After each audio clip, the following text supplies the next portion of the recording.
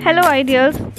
This video of your science textbook chapter 1 part 1 is brought to you by Ideal Academy School. Chapter's name is The World Around Us. So let's start. We see many kind of things around us. हम लोग अपने आसपास बहुत सारे तरह की चीज़ें देखते हैं some of them are so near अभी देखो नेक्स्ट स्लाइड में कुछ कुछ चीज़ों की पिक्चर्स दिए हुए हैं हमें क्या करना है कि ब्लू कलर के पेंसिल से उन चीज़ों को सर्कल करना है जो चीज़ें भोजन करती हैं एवं जो चीज़ें खुद से मूव कर पाती हैं ओके एक बार और मैं इस एक्टिविटी को रिपीट कर रही हूँ कि पीछे कुछ पिक्चर्स दिए हुए हैं।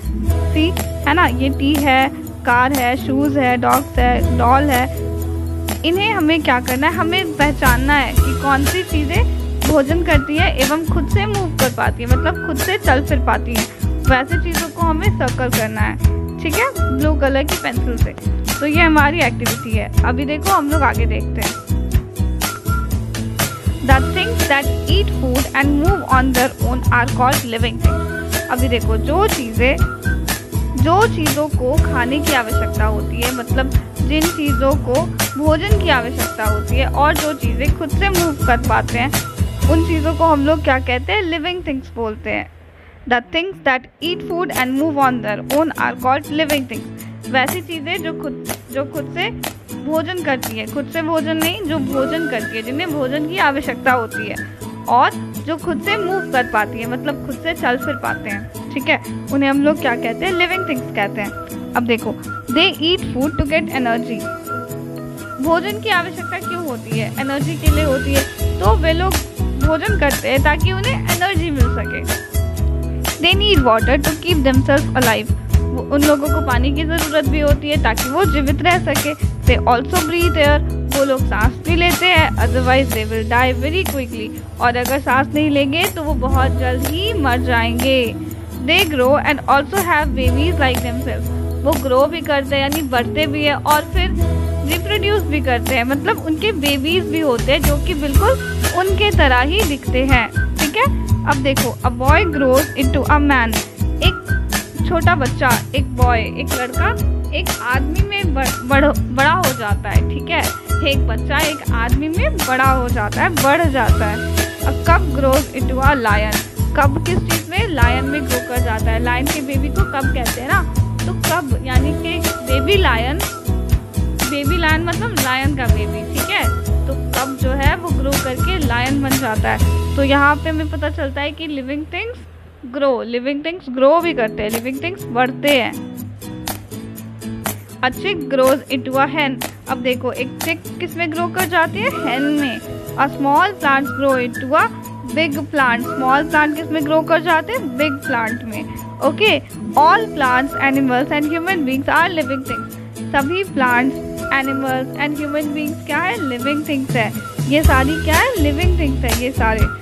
There are some things that do not need air water and food अब देखो, अब अब इस दुनिया में कुछ ऐसी भी चीज़ें हैं जिन्हें ना तो हवा की ज़रूरत है, ना तो भोजन की ज़रूरत है, ना ही पानी की ज़रूरत है। They do not move by themselves grow और हैव बेबीज ये अपने से मूव भी नहीं कर पाते ना तो ये ग्रो करते हैं और ना ही इनके बेबीज होते हैं। Some of them can be seen in the picture below circle them using a red colour pencil अब देखो, अभी हम लोगों को अगेन एक्टिविटी करना है। अब एक्टिविटी में क्या है कि हम लोगों को रेड कलर के पेंसिल से क्या करना है? वैसी चीज़ों को सर्कल करना है, जो कि ना तो ग्रो करते हैं, जिनके ना बेबीज होते हैं, जिन, जिन्हें ना तो भोजन एवं ना ही पानी की आवश्यकता होती है। ठीक है, वैसे वैसी चीज़ों को हमें सर्कल करना है। किस कलर के पेंसिल से? रेड कलर के पेंसिल से ओके अब देखो आगे देखते क्या है। These things are called non living things अब ऐसी चीज़ें नॉन लिविंग थिंग्स कहलाती है।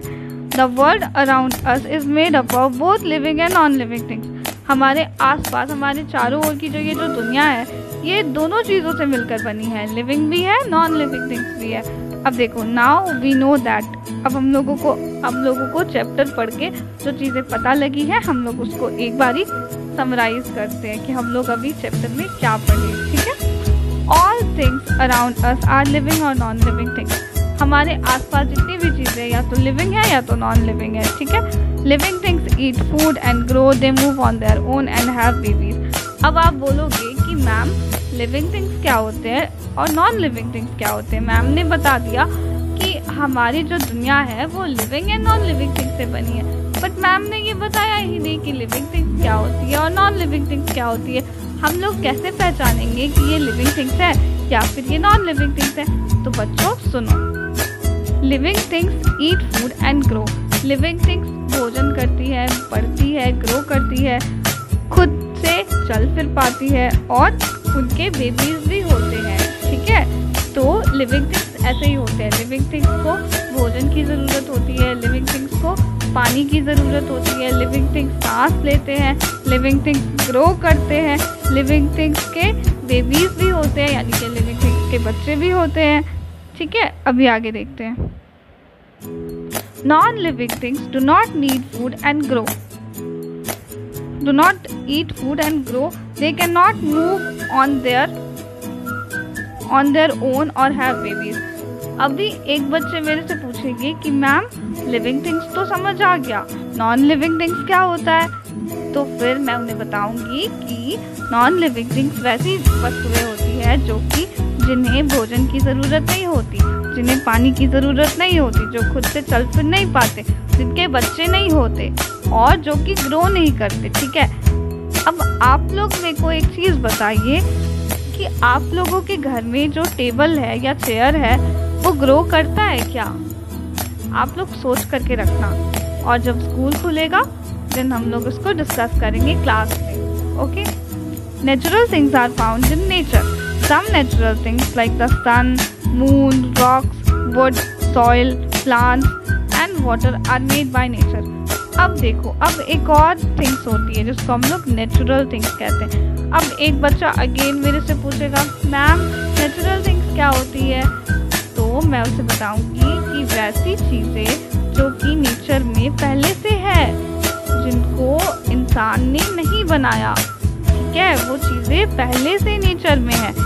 अब नेचर मतलब क्या होता है मैम तो नेचर मतलब होता है प्रकृति। वो चीज़ें प्रकृति में पहले से है। ठीक है? वो चीज़ें प्रकृति में पहले से है। तो वैसी चीज़ों को हम लोग क्या कहते हैं? नेचुरल थिंग्स कहते हैं। अब देखो इसके एग्ज़ाम्पल क्या है? सन है मून है रॉक्स है वुड है सॉइल है वाटर है है ना? वाटर है, ये सारे नेचर के द्वारा बनाए गए हैं। इसीलिए हम इसे नेचुरल थिंग्स कहते हैं।